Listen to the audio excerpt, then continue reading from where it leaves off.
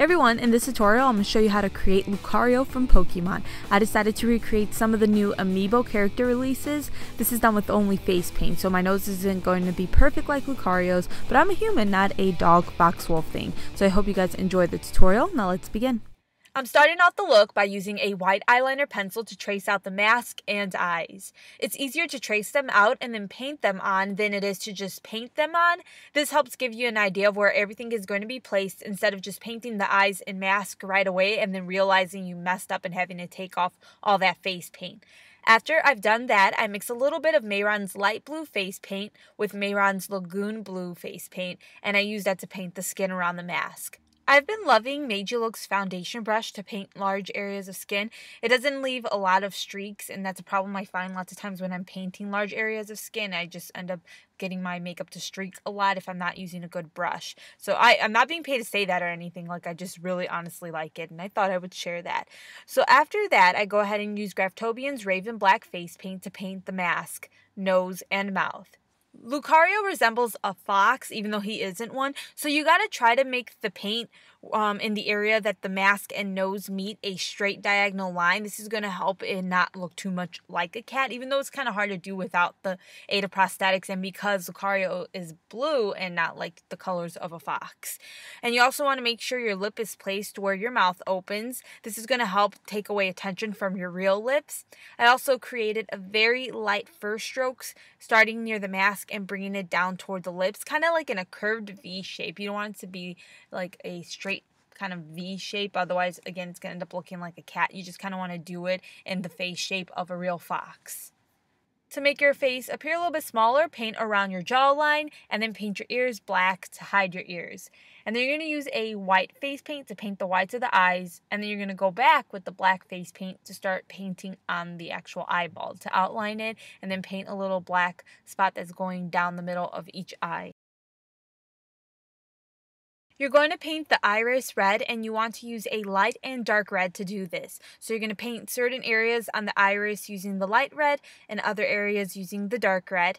And then you're going to use the black face paint to draw some lines going through the eye and then you're going to use the white face paint to paint little circles sporadically and this looks a little bit more anime. It just makes the eyes look cooler when you do it this way rather than just painting the iris like a flat out red color.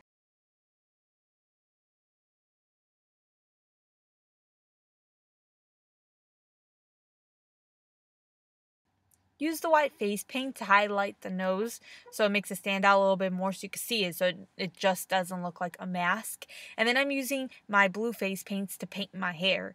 Now you can use like spray, temporary hairspray, but I didn't have any and also I find that the face paint actually works better in my hair. I don't know if this is necessarily dangerous for your hair, but I've never seen anybody really actually do this. I just do it. I don't do it all the time, so my hair is still you know, it's manageable, like after I do this.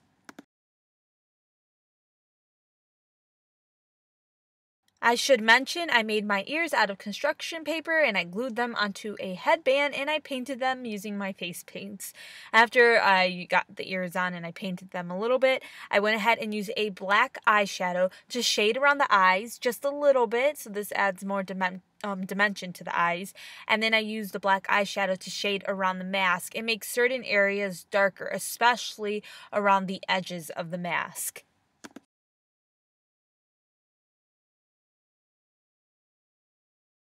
You want to use eyeshadows to create fur, and you want to use eyeshadows because it's easier to do and easier to blend them out. And you're going to use three different blue eyeshadows. All the eyeshadows I'm using are from my BH Cosmetics eyeshadow palette.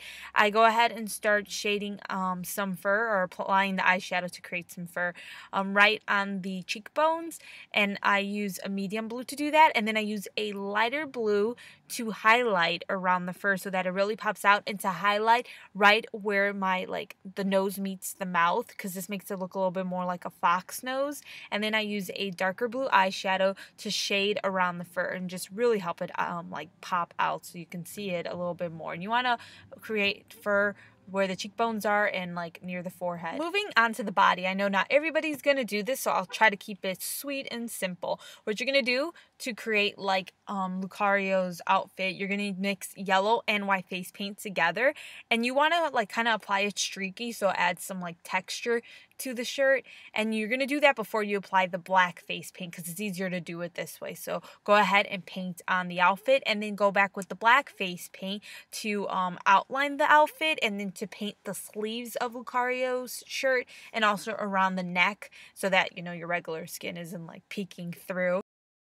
You want to go ahead and paint a spike going through the outfit and you want to use the black face paint to shade a little bit behind the spike so that it really looks like it's popping out. And then you go ahead and paint your arm color, the color you painted your skin. And then the spike you want to paint white and then you want to use the black eyeshadow to shade around the um, spike and behind the spike, especially behind the spike because this is going to make it like look a little bit more 3D and you want to create a little shadow below the spike as well. And that's really all I did for that. And then I go ahead and like painted my hand and my arm just for pictures. I know a lot of people aren't going to do that. So I just did that and I'm not going to really explain it because it was basically the same thing that you do on the body. So I hope you guys enjoyed the tutorial. Please don't forget to give it a thumbs up if you liked it and subscribe to my YouTube channel for more videos. And if you want to see any more amiibos recreated, go ahead and leave your request down below. So I'll see you in my next tutorial. Take care. Bye.